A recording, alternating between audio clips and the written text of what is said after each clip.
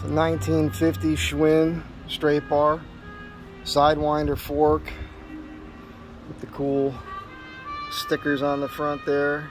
I need a head badge for this if you got one of those really tall brass head badges. It's got the Sun Tour stem, four bolt. It's got Schwinn cast in the top there, pretty cool. Vintage Hunt Wilde grips here.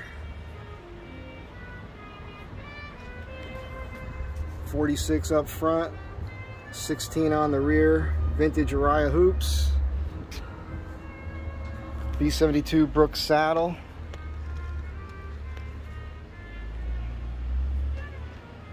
Renthal motocross handlebars, mountain bike lever brake, vintage Dia-Compe caliper brake.